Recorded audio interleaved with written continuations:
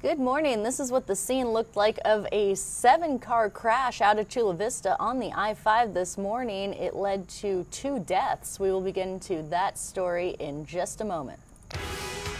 Interactive and online. Your Fox 5 Weekend Update Hi, thank you so much for joining us. I'm Danielle Radin. This is the Weekend Update. We're live in the Fox 5 newsroom. This is the one and only interactive newscast in all of San Diego County, which means if you have a question or a comment at any point during the show, go ahead and put it right under this video. I'll do my best to answer it. Or if you just want to say hi and where you're watching from, we love giving shout outs during the show as well. This is a really cool opportunity for you, the viewer, to have direct access to us, the reporters and anchors, right here at Fox 5. We have a lot of news to get to, so let's start. Two people were killed after a driver went the wrong way on the freeway and crashed. That's the video we showed you at the top of the show. It happened around 5 this morning on southbound I 5 between J and L Streets in Chula Vista. The California Highway Patrol says the suspect vehicle, which had its lights off, crashed into a Ford Focus. It caused seven cars to crash. The I 5 is closed in, at J and L Streets for the next few hours while crews investigate and clean up the mess. And a woman suspected of drunk driving crashed her car after a pursuit with police. This is what that scene looked like. It happened around midnight at Oceanside Boulevard and Pacific Street near the beach in Oceanside. A concerned citizen called officers after a driver crashed into a Meridian. Officers attempted to pull over the woman, but she led them on a short pursuit. Then she collided with a tree. She was taken to the hospital along with her passenger for minor injuries. Officers arrested the woman on suspicion of driving under the influence of alcohol. And San Diegans are increasingly canceling their travel plans, including planned trips and cruises to China, as the coronavirus spreads. The federal government has temporarily restricted foreign nationals who traveled to China from entering the United States. Major air carriers suspended flights between the United States and mainland China. American Airlines, Delta, and United said direct air service would be halted for months. Death tolls from coronavirus have passed 250 with nearly 12,000 infections confirmed. And a local husband and father is worried for his wife and two small children who are stranded in Wuhan, the epicenter of coronavirus. Here's Fox 5's Marilee Moore. They just treat them like crap. They're Americans. An emotional moment for this husband and father, worried for his wife and two young children who were traveling in Wuhan, China when the coronavirus outbreak began. Now, with flights canceled and a quarantine in place, he's anxious health. What if my wife gets sick? What if her parents get sick? Who's going to take care of the kids? His wife, Yin Juna, for the Lunar New Year with their three year old son, Rowan, and one year old daughter, Mia. He was planning to join them. There's some stuff I was going to pack to bring to them. But now baby supplies are strewn around their home as he waits in limbo to see what happens next. My kids, my little kids are, you know, they're trapped. They're trapped in like a little room.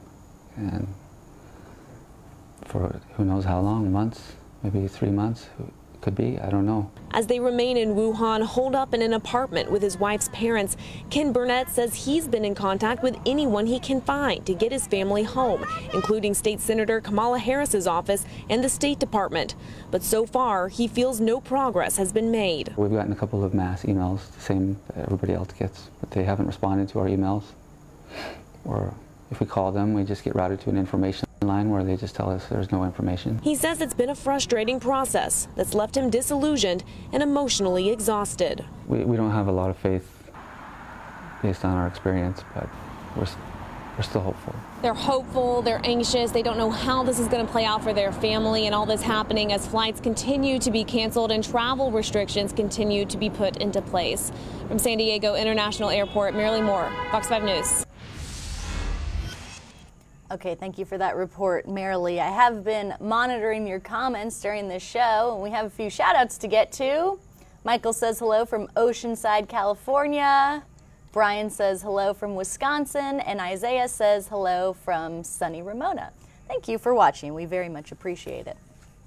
Well, a hearing has been set for March on whether a sexually violent predator should be placed in East County. A judge will listen to public comment to hear whether the location of Jacumba Hot Springs is appropriate to place 60 year old Michael Poulsom, who would be under supervision.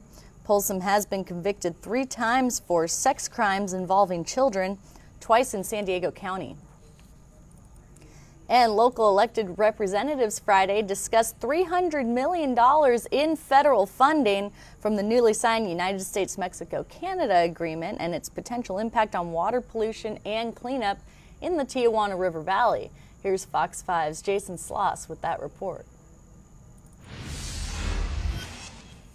The signing of this agreement, the dollars are going to flow to clean up the sewage bills from the Tijuana River Valley once and for all is, is a shining example of what we can do when we work together. Local politicians are hoping the newly signed USMCA trade agreement is the beginning of the end of the pollution crisis in the Tijuana River Valley.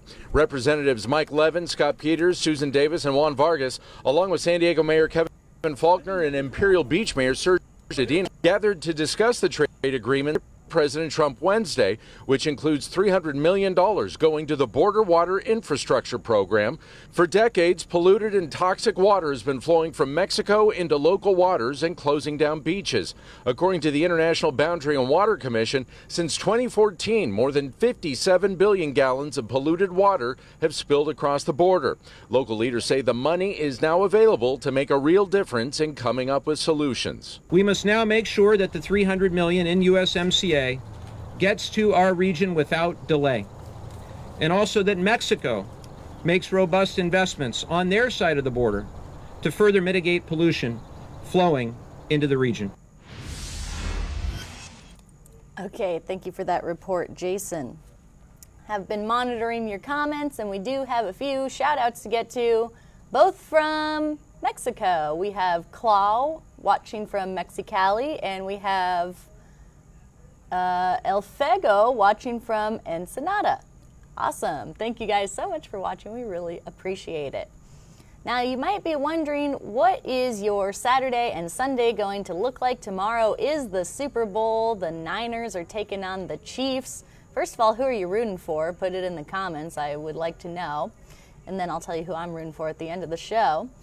Uh, and then I want to tell you what the weather's going to look like this weekend. Let's get it over to Fox 5's Justina Meyer. She has your forecast.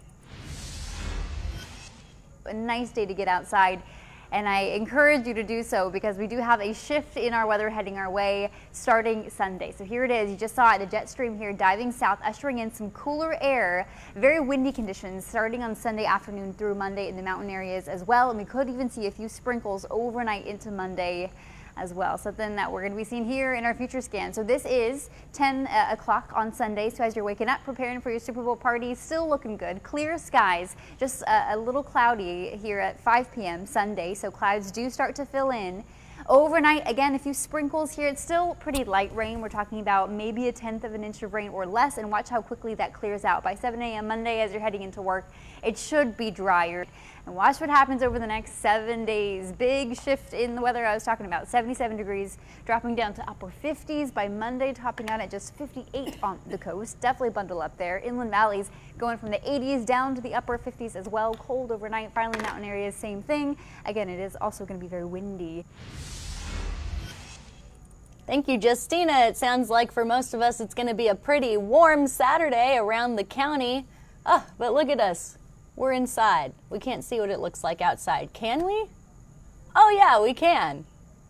Bam! We just teleported ourselves to the top of Mount Soledad. This is a live look at what it looks like out there in La Jolla from our camera, where you can see it's a beautiful, sunshiny San Diego day. It looks like a good day to go to the beach and maybe go for a hike.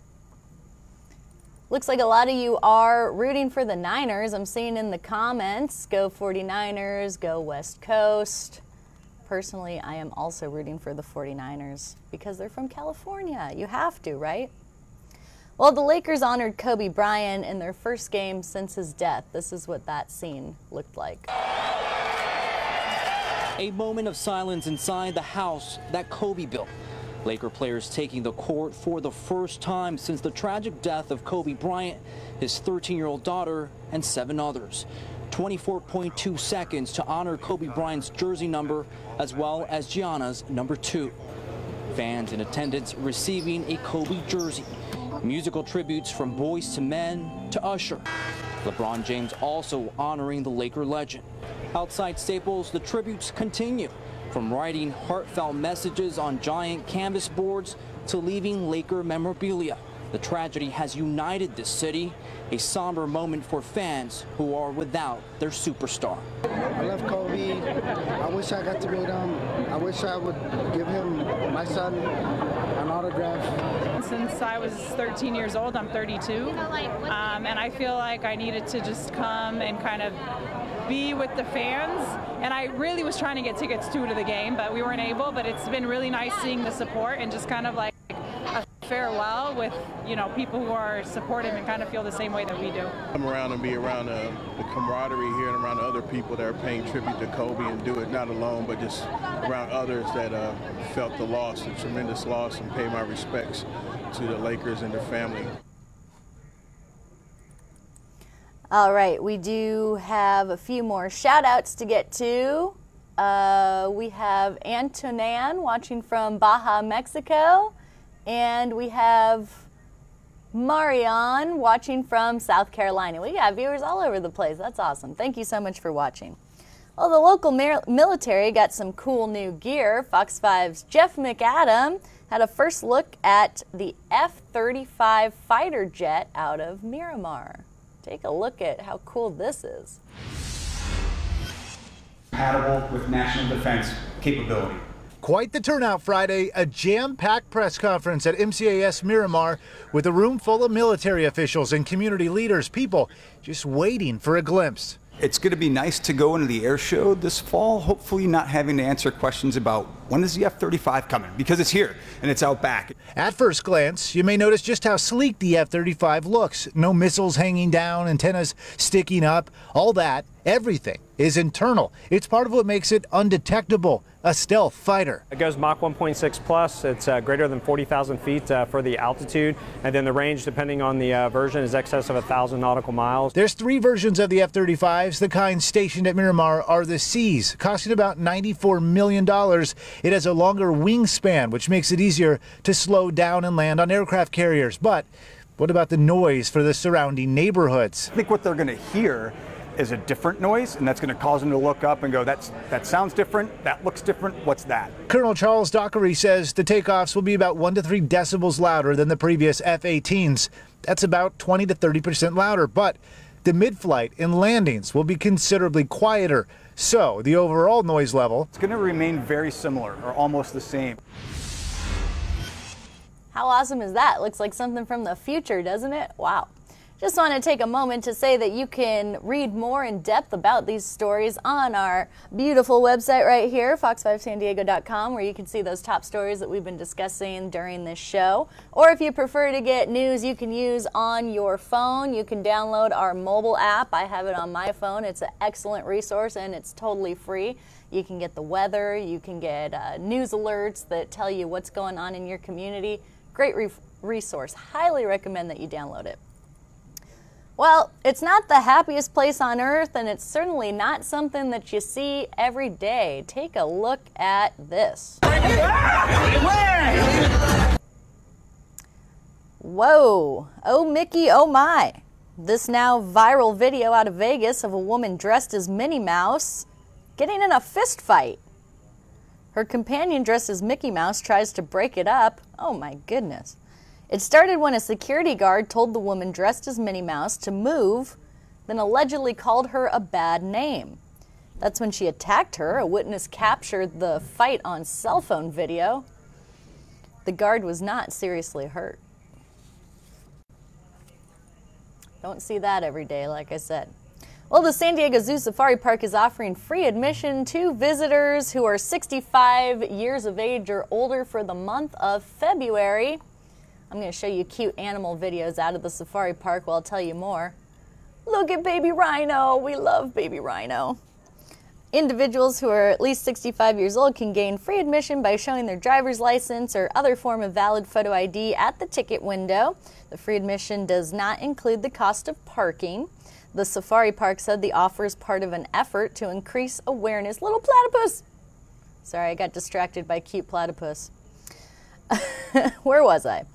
Uh, the offer is part of, part of an effort to increase awareness of the park's conservation projects, including those assisting wildlife in Australia as the country's deadly bushfires continue raging. Oh, this is one of my favorite videos of all time. It's baby elephants at the safari park playing in the mud. They love to coat themselves in that mud to protect their skin. They kind of use it like sunscreen and they just roll around in it. Whee! so fun. All right, let me uh, look at your comments really quick. We have uh, Eddie saying hello from New Jersey. And it looks like we have another shout out. Victor says hello from Florida.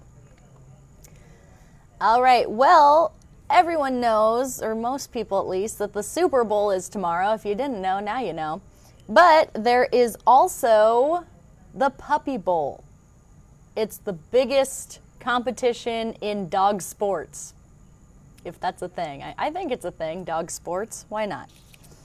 Well, this year, 96 dogs from 61 shelters will go head to head as Team Fluff takes on Team Rough. And there are five special needs pups competing this year, all three months old or younger. These are them. First up, Ferris, the three legged Labrador Retriever mix, Filbert, the blind and hearing impaired sheepdog mix puppy, Rooster, the baby bulldog terrier with a cleft palate, Kismet, the deaf Great Dane, and last but not least, Paprika, the hearing impaired Chihuahua mix. We know they're all too cute to root for just one. You can watch these little pups compete starting at noon tomorrow on Animal Planet. I know what I'll be doing tomorrow at noon. All right, let's take a look at your Saturday highs before we get going here. Where you can see it's going to be a hot one out there. Del Mar 71 degrees, Carlsbad 75 degrees, moving east, Escondido 83 degrees, Ramona 82 degrees, and then moving south, we've got Alpine at 78 degrees, Bonita at 78 degrees, and Imperial Beach 75 degrees. That's it for this edition of the Weekend Update, but if you missed us, you can always catch us tomorrow for our Sunday show starting at 10:30 in the morning.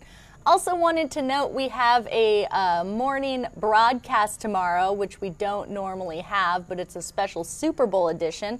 So if you want to tune into Channel 5, we will be right there. Or you can go to our website, fox5sandiego.com, if you just can't get enough of us. We're also on Instagram, Twitter, and we're streaming. We're on Apple TV, Roku, and Fire Stick. And check out our YouTube page. Our YouTube page has a lot of really awesome videos. That's because Fox 5 has your local news on any platform you choose. So we will see you right back here tomorrow and have a beautiful Saturday